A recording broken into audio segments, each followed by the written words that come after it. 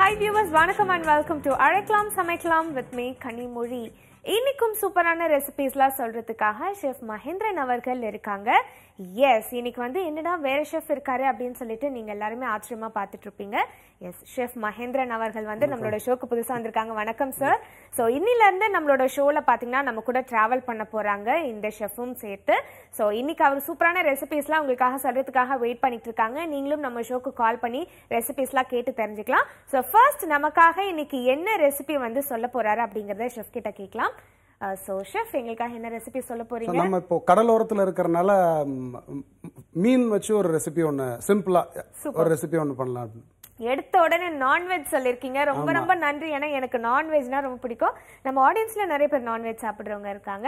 So அல்டிமேட்டா சொல்லிடுங்க sir so ஈஸியாக செய்கிற மாதிரி ஒரு மீன் வச்சு ஒரு ரெசிபி ஸோ மீன் வந்துட்டு போன்லெஸ்ஸாக நீங்கள் எது எது- என்ன மீனாக இருந்தாலும் பரவாயில்ல. மீன் அல்லது இறால். கொஞ்சம் முள் இல்லாமல் எடுத்து தனியாக வச்சுக்கோங்க. அதுக்கடுத்து வந்துட்டு கொஞ்சம் எலுமிச்சம்பழ சாறு அப்புறம் தேங்காய் எண்ணெய் கொஞ்சம். இது தேங்காய் எண்ணெயில் யூஸ் பண்ணுங்கள் ரொம்ப நல்லாயிருக்கும் அதனுடைய வாசனை. ஸோ தேங்காய் எண்ணெய் கொஞ்சம் உப்பு மிளகாத்தூள் பூண்டு இஞ்சி அரைச்சது. அப்புறம் கருவேப்பிலை வந்துட்டு கொஞ்சம் பொடியாக நறுக்கி அதில் போட்டுட்டு கொஞ்சம் உப்பு போட்டு எல்லாமே நல்லா மிக்ஸ் பண்ணி அதை வந்துட்டு மீனில் தடவி கொஞ்சம் நேரம் வெயிலில் வச்சுருங்க. ஒரு பதினஞ்சு இருபது நிமிஷம் கொஞ்சம் அது கொஞ்சம் ஈரப்பாமல் கொஞ்சம் காயிடும். அதுக்கப்புறம் இதை நீங்கள் முழுக்க முழுக்க தேங்காய் எண்ணெயிலே பண்ணி சாப்பிட்டு பாருங்கள் ரொம்ப நல்லாயிருக்கும் அடுத்து தோசை கல்லில் வந்துட்டு கொஞ்சோண்டு தேங்காய் எண்ணெய் போட்டு இந்த மீனை அப்படியே எடுத்து அதில் போட்டு சுட்டு எடுத்து சாப்பிட்டு பாருங்கள் ரொம்பவே அருமையாக இருக்கும். ஓகே சூப்பரான ஒரு மீன் வறுவல் வந்து சொல்லியிருக்கீங்க. ஒரு வித்தியாசமான ரெசிபி சொல்லியிருக்காரு. கண்டிப்பா ட்ரை பண்ணி பாருங்க. அண்ட் மீனும் வந்து ஹெல்த் வைஸ் பார்த்தா நமக்கு ரொம்ப ரொம்ப நல்லது. ரொம்பவே நல்லது. மீன் உணவு வந்துட்டு எவ்வளோ நம்மளால எடுத்துக்க முடியுமோ அவ்வளோ எடுத்துக்கணும். அவ்வளோ நல்ல ஒரு புரதச்சத்து இருக்கு. ரொம்பவே நல்லது. அசைவ உணவுகளில் நீங்கள் மீன் வந்துட்டு தொடர்ச்சியாக சாப்பிடலாம். எஸ் அதுவும் கண்ணுக்கு ரொம்ப ரொம்ப நல்லது. மீன் so நல்லா சாப்பிடுங்க. என் தம்பி தான் சாப்பிடவே மாட்டான். அவன மாதிரி நிறைய பேர் இருக்காங்க அப்படின்னு சொல்லி நம்ம ஷோலே வந்து ஒருத்தவங்க சொல்லியிருந்தாங்க. ஸோ இவங்களுக்கும் வந்து நம்ம சொல்லிக்கிட்டே இருக்கணும். மீன் நிறைய சாப்பிடுங்கன்னு. ஸோ எஸ் இப்போ ஃபர்ஸ்ட் காலர் லைன்ல இருக்காங்க. பேசலாம். வணக்கம். வணக்கம். வணக்கம்மா. உங்க பேர் சொல்லுங்க. என் பேர் வினோபிரியா கனிமொழி. எப்படி இருக்கீங்க? நான் ரொம்ப ரொம்ப நல்லா இருக்கேம்மா. நீங்க எப்படி இருக்கீங்க? நல்லா இருக்கேன். ஓகே நல்லா சமையல் பண்ணுவீங்களா நீங்க? ஏதோ சமைப்பேன். எங்க அம்மா அளவுக்கு இல்ல. நம்ம யாருமே நம்ம அம்மா அளவுக்கு சமைக்க முடியாது. அவங்கெல்லாம் ரொம்ப எக்ஸ்பர்ட் ஆச்சே. ஓகேம்மா என்ன ரெசிபிமா கேட்க போறீங்க? நான் பீட்ரூட் சட்னி கேட்கலான்னு இருக்கேன். பீட்ரூட் சட்னி. நானும் இதுதான் முதல் தடவை கேள்விப்படுறேன். ஒரு நல்ல ரெசிபி கேட்டிருக்கீங்க ஷெஃப் கிட்ட கேட்கலாம். நான் ஹாஸ்டல்ல படிக்கும் போது ஒரு வீட்ல நான் செஞ்சு சாப்பிட்டிருக்கேன். ஆனா அவங்க அது இது வரைக்குமே எப்படி செய்யணும்ன்றது சொன்னது இல்ல அதனாலதான் சரி செஃப் கிட்ட கேட்கலாம் அப்படின்னு நான் சிக்ஸ் மந்த்தா ட்ரை பண்றேன். இன்னைக்கு தான் எனக்கு ஃபர்ஸ்ட் காலரா ஃபர்ஸ்ட் லைனா கிடைச்சிருக்கு. சும்மா ஆறு மாசமா ட்ரை பண்றீங்களா நீங்க? ஆமா, ஓகேம்மா. இன்னைக்கு உங்களுக்கு லைன் கிடைச்சிருக்கு. ரொம்ப ரொம்ப சந்தோஷம். ஷெஃப் கிட்ட பேசுங்க. வணக்கம். ஹாய் சேஃப் எப்படி இருக்கீங்க? ரொம்பவே நல்லா இருக்கேன். நீங்கள் எப்படி இருக்கீங்க? நல்லா இருக்கேன். நீங்க புதுசா ஒரு டிப்ஸ் ஸ்டார்டிங்ல மீன் பத்தி சொன்னது ரொம்ப சூப்பரா இருந்துச்சு. ரொம்ப நன்றி. அதை செஞ்சு பாருங்க வீட்டில் கண்டிப்பா கண்டிப்பா சார் ஸோ இப்போ உங்களுக்கு ஒரு ஆரோக்கியமான ஒரு பீட்ரூட் சட்னி உங்களுக்கு இட்லி தோசை தயிர் சாதம் அது கூட எல்லாம் சாப்பிட்ற மாதிரி ஒரு பீட்ரூட் சட்னி உங்களுக்கு நான் சொல்கிறேன் நோட் பண்ணிக்கோங்க.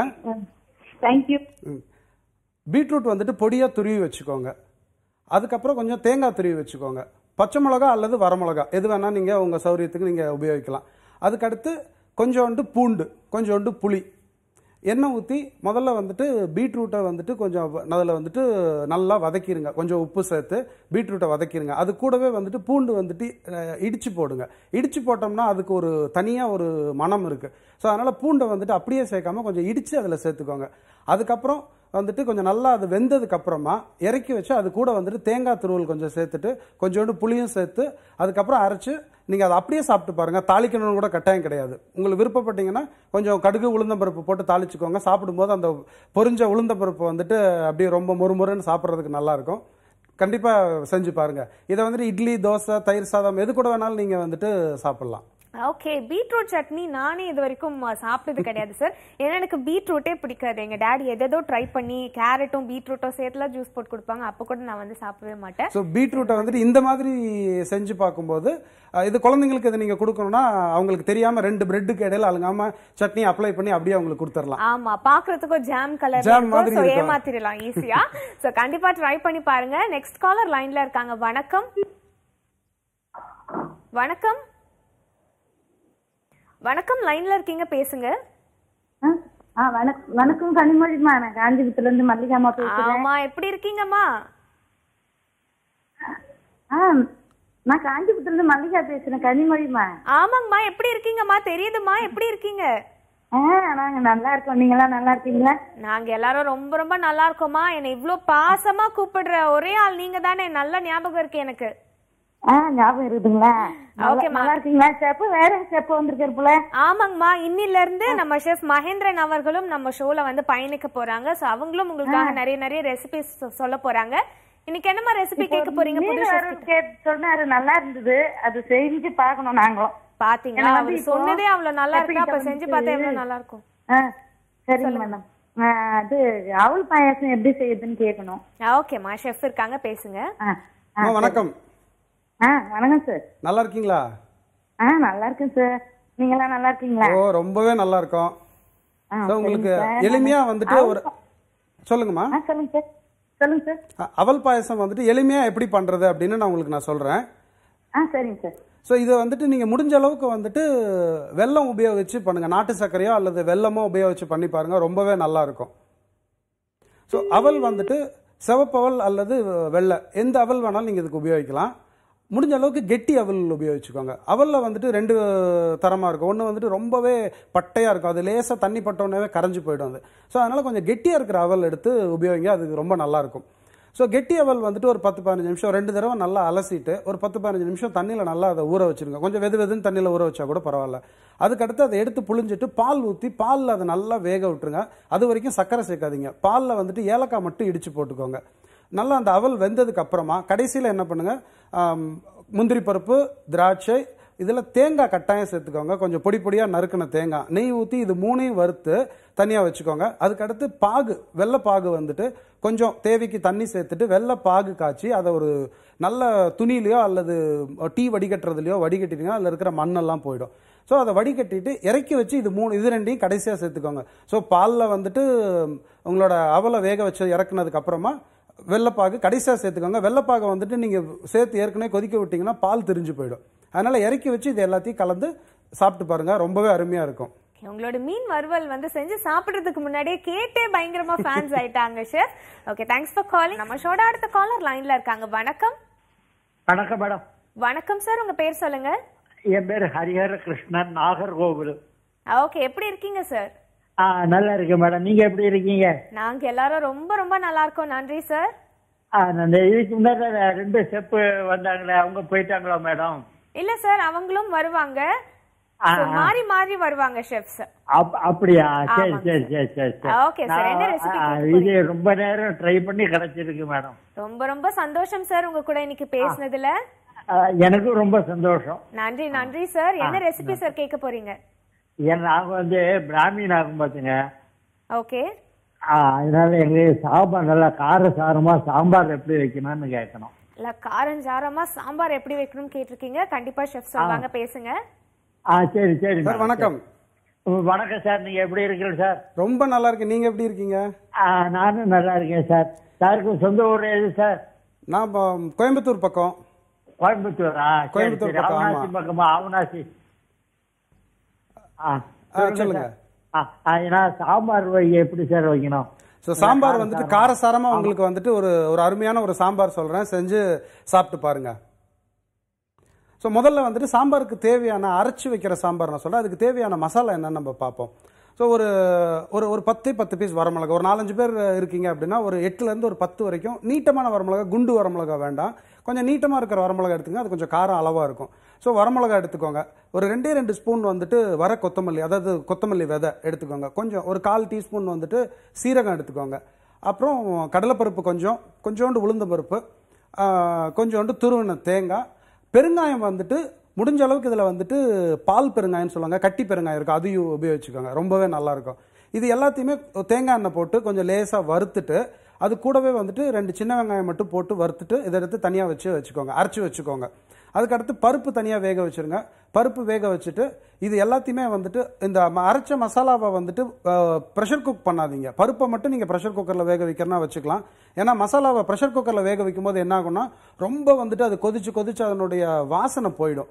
அதனால் என்ன பண்ணுங்க பருப்பு மட்டும் ப்ரெஷர் குக்கரில் வச்சுக்கோங்க. தனியாக ஒரு பாத்திரத்தில் வந்துட்டு எண்ணெய் ஊற்றி காய்கறி என்னென்ன காய்கறி நீங்கள் உபயோகிக்கிறீங்களோ உபயோகிச்சுக்கோங்க. கட்டாயம் அதில் முருங்கைக்காயும் கொஞ்சோண்டு உருளைக்கிழங்கும் உபயோகிச்சுக்கோங்க. கொஞ்சம் டேஸ்ட் ரொம்பவே நல்லாயிருக்கும். இது நல்ல ஒரு காம்பினேஷன் அதனால் இந்த காய்கறி என்னென்ன போடுறீங்களோ போட்டுட்டு கொஞ்சம் மஞ்சத்தூள் லேசாக மல்லித்தூள் மிளகாத்தூள் ரொம்ப வேண்டாம். கொஞ்சம் கொஞ்சம் சேர்த்துட்டு உப்பு போட்டு காய்கறியை வேக வச்சுருங்க. கொஞ்சம் புளித்தண்ணி சேர்த்துக்கோங்க.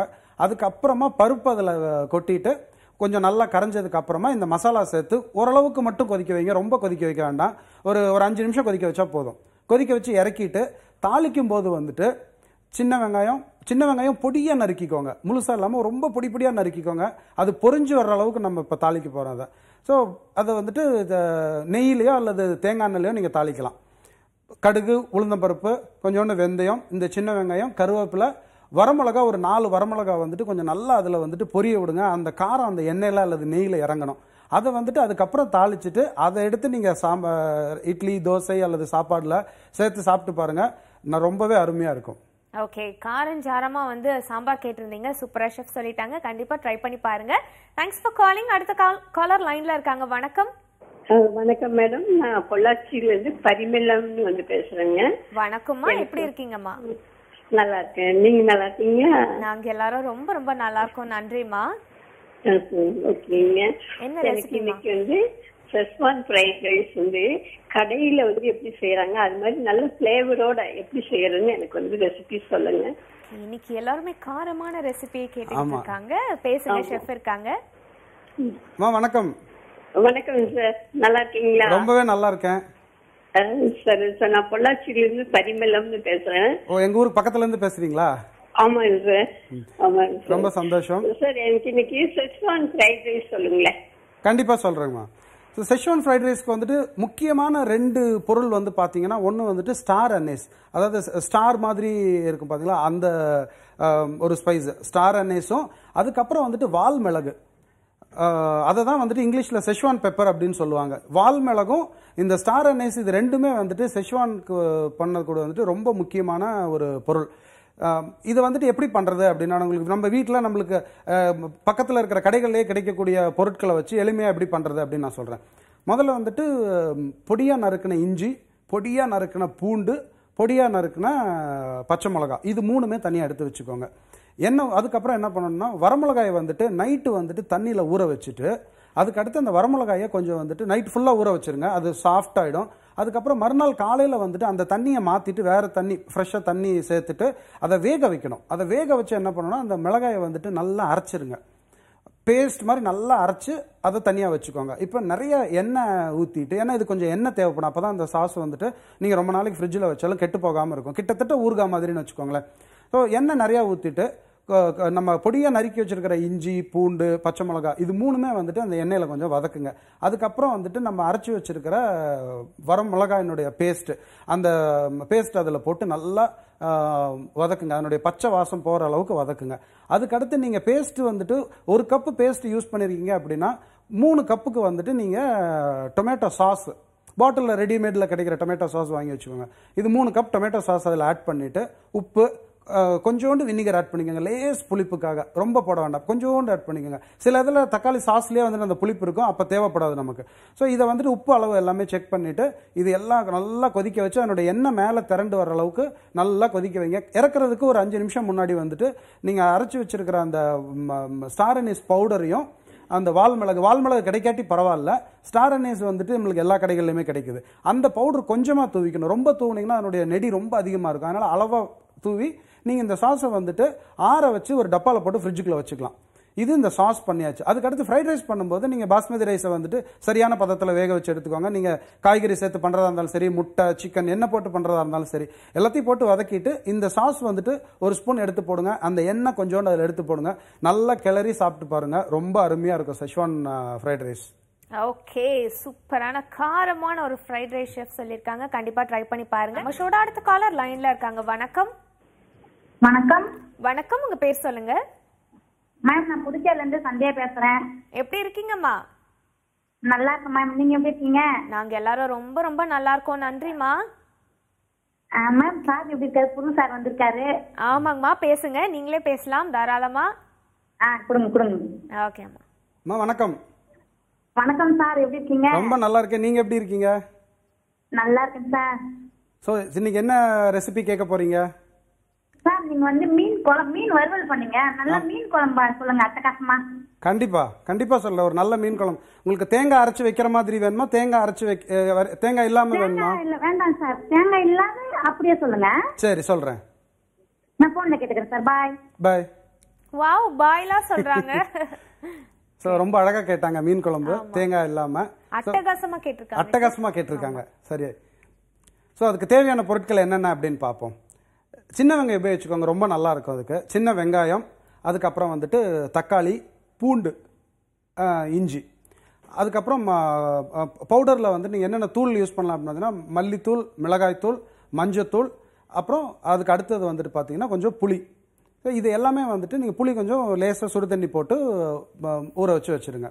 ஸோ இப்போ வந்து மீனை வந்துட்டு நல்லா அலசி கழுவிட்டு அதில் வந்துட்டு கொஞ்சோண்டு மஞ்சத்தூள் மட்டும் போட்டு பிரட்டி வச்சுருங்க. அதுக்கப்புறமா வந்துட்டு ஒரு ஸ்பூன் மிளகாத்தூள் ரெண்டு ஸ்பூன் தனியாத்தூள் அரை ஸ்பூன் மஞ்சத்தூள் போடுங்க கொஞ்சம் சீரகத்தூள் சேர்த்துக்கோங்க இதில் அரை ஸ்பூன் சீரகத்தூள். இது மூணையுமே சேர்த்து தண்ணி ஊற்றி கொஞ்சம் கரைச்சி வச்சுக்கோங்க. அடுத்தது தக்காளி வந்துட்டு லேசாக சுடுதண்ணியில் போட்டு தோல் நீக்கிட்டு நல்ல ப நல்ல மையாக அரைச்சிருங்க.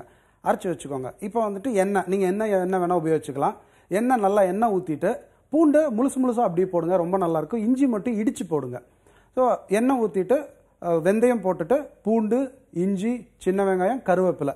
இது நாலும் சேர்த்து வதக்கிட்டு அதுக்கப்புறம் அரைச்சி வச்சிருக்கிற தக்காளியை வந்துட்டு இதில் சேர்த்துக்கோங்க. கொஞ்சம் நல்லா கொதிக்க விடுங்க பச்சை வாசம் போகிற வரைக்கும். தக்காளி சேர்த்து பச்சை வாசம் போகிற வரைக்கும் கொதிக்க வச்சோன்னா அடுத்து கரைச்சி வச்சிருக்கிற நம்ம மசாலா தூள் அந்த அதெல்லாம் தண்ணியில் கரைச்சி வச்சிருக்கல அதை ஊற்றுங்க அதுக்கப்புறம் அது கூடவே புளி தண்ணி ஊற்றிருங்க உப்பு சேர்த்துருங்க. இதை நல்லா கொதிக்க வச்சுட்டு உப்பு காரம் செக் பண்ணி பார்த்துட்டு அதுக்கப்புறமா கடைசியில் மீன் அதில் போட்டு நெருப்பை வந்துட்டு ரொம்ப கம்மியாக வச்சுட்டு ஒரு தட்டு போட்டு மூடி இறக்கி வச்சிருங்க. கொஞ்ச நேரம் ஒரு அஞ்சு நிமிஷம் பத்து நிமிஷம் அது ஸ்லோவாக கொதிக்கட்டும். அதுக்கப்புறம் அழுங்காமல் அதை இறக்கி வச்சுட்டு குறைஞ்சது வந்துட்டு அதை அப்படியே அசைக்காமல் ஒரு ஒரு மணி நேரமாவது அது அப்படியே இருக்கட்டும். அப்போ தான் அந்த மீன் வந்துட்டு அதில் இருக்கிற காரம் புளியை வந்துட்டு கொஞ்சம் கொஞ்சமாக அது வந்துட்டு உரியும். ஒரு ஒரு மணி நேரம் அல்லது ரெண்டு மணி நேரம் கழித்து அது நீங்கள் சாப்பிடும்போது ரொம்பவே அருமையாக இருக்கும். ஓகே அட்டகாசமான ஒரு மீன் குழம்பு சொல்லிட்டாரு ஷெஃப் கண்டிப்பாக ட்ரை பண்ணி பாருங்க. தேங்க்ஸ் ஃபார் காலிங் அடுத்த காலர் லைனில் இருக்காங்க. வணக்கம். வணக்கம் மேடம். வணக்கம்மா உங்க பேர் சொல்லுங்க. பாக்கிய தாராங்க மேடம். பாக்கிய தாரா. பாக்கிய தாரா நயன தாரா பேசியிருக்காங்க. நீங்க வந்து பாக்கிய தாராங்களா? ஆமாங்க மேடம். கரூர் காந்தி கிராமத்துல இருந்து பேசுறேங்க ஓகேம்மா. எப்படி இருக்கீங்கம்மா? நல்லா இருக்கேங்க மேடம். நீங்க எப்படி இருக்கீங்க? நாங்க எல்லாரும் ரொம்ப ரொம்ப நல்லா இருக்கோம். நன்றிம்மா. நிலையத்துல எல்லாம் நல்லா இருக்காங்களாங்க எல்லாரும் நல்லா இருக்காங்கம்மா. என்ன ரெசிபிமா கேட்க போறீங்க? மேடம் எல்லா காயும் போட்டு அவியல் எப்படி சேர்ப்பீங்க ஓகேம்மா. ஷெஃப் இருக்காங்க பேசுங்க. வணக்கம். அவியல் எப்படி பண்ணுறதுன்னு கேட்டிருக்கீங்க இல்லைங்களா? ஆமாங்க சார் வணக்கங்க சார் நல்லா இருக்கீங்களா? ரொம்பவே நல்லா இருக்கேன். நீங்கள் எப்படி இருக்கீங்க? நான் நல்லா இருக்கேங்க சார். ஸோ உங்களுக்கு அவியல் வந்துட்டு எப்படி பண்ணுறது அப்படின்னு நான் சொல்கிறேன் குறிச்சிக்கோங்க. ஸோ அவியலுக்கு தேவையான என்னென்ன காய் நீங்கள் உபயோகப்படுத்துறீங்களோ அதெல்லாம் நீல வாக்கில் வந்துட்டு கட் பண்ணிட்டு கொஞ்சம் மஞ்சத்தூள் உப்பு போட்டு வேக வச்சு தனியாக எடுத்து வச்சுக்கோங்க. அதுக்கு அடுத்து வந்துட்டு தேங்காய் அரைச்சி வச்சுக்கோங்க. தயிர் வந்துட்டு கொஞ்சம் புளிப்பு இருக்கிற தயிர் வச்சுக்கோங்க. தேங்காயும் சீரகம் கொஞ்சோண்டு பச்சை மிளகாய் மட்டும் போட்டு அரைச்சிக்கோங்க. ரொம்ப வந்துட்டு சீரகம் சேர்த்துறாதீங்க. அதுக்கு அடுத்து என்ன பண்ணுங்கள் காய்கறியெல்லாம் தனியாக வேக வச்சு வச்சுக்கோங்க. இது தேங்காய் எண்ணெயில் பண்ணும்போது ரொம்ப நல்லாயிருக்கும் இந்த அவியல். ஸோ இந்த தேங்காய் எண்ணெயில் வந்துட்டு தேங்காய் எண்ணெய் ஊற்றி அதில் வந்துட்டு நீங்கள் வேக வச்சுருக்கிற காய்கறியை வந்துட்டு தேங்காய் நல்லா சூடானதுக்கப்புறம் அந்த கருவேப்பிலை போட்டு அதுக்கப்புறம் நீங்கள் வேக வச்சுருக்கிற காய்கறியை போட்டு கொஞ்சம் லேசாக வதக்குங்க. அதுக்கப்புறம் நம்ம அரைச்சி வச்சிருக்கிற தேங்காய் அதை வந்துட்டு அதை கூட சேர்த்து கொஞ்ச நேரம் அப்படியே பிரட்டிட்டே இருங்க. லேசாக அதனுடைய பச்சை வாசம் விலகிற விலகுற வரைக்கும். அதுக்கப்புறம் இறக்குறதுக்கு கொஞ்சம் முன்னாடி வந்துட்டு தயிர் சேர்த்து லேசாக ரெண்டு பெரட்டு பெரட்டிட்டு இறக்கிருங்க. அதாவது வந்துட்டு லேசான மஞ்சள் கலரில் இருக்கணும். ரொம்ப மஞ்சத்தூள் சேர்த்துறாதீங்க நல்லா இருக்காது. இது வந்துட்டு உங்களுக்கு கொஞ்சம் கெட்டியாக வேணும் அப்படின்னா கொஞ்சம் தேங்காய் அரைச்சது கொஞ்சம் அதிகமாக சேர்த்துக்கோங்க. தயிர் வந்துட்டு அந்த புளிப்பு மட்டும் கரெக்டாக உங்களுக்கு வந்துட்டு அளவு கரெக்டாக இருக்கணும். ஸோ அந்த உப்பு புளி மட்டும் இதில் ரொம்ப முக்கியம். புளிப்பே இல்லைன்னாலும் வந்துட்டு உங்களுக்கு அவியல் நல்லா இருக்காது. கொஞ்சம் அந்த புளிப்பு இருக்கணும். அப்போ தான் அந்த அவியல் நல்லா இருக்கும் இது இந்த மாதிரி நீங்கள் செஞ்சு பாருங்கள் ரொம்பவே நல்லா இருக்கும் aviyal. Okay thanks for calling ரொம்ப ரொம்ப நன்றி ஷெஃப். சூப்பரான ரெசிபிஸ்லாம் சொன்னீங்க. தேங்க்யூ ஸோ மச் ஸோ மற்ற ரெண்டு ஷெஃப்க்கு நீங்க எந்த அளவுக்கு சப்போர்ட் கொடுத்தீங்களோ அதே மாதிரி இந்த ஷெஃப்க்கும் இனிமேல் நீங்க சப்போர்ட் கொடுப்பீங்க அப்படின்னு சொல்லிட்டு நம்புறோம். ஸோ இதே மாதிரி வேற ஒரு இன்ட்ரெஸ்டிங்கான எபிசோட்ல சந்திக்கிறேன். அதில் this is Kanimozhi signing off Azhaikkalam Samaikkalam.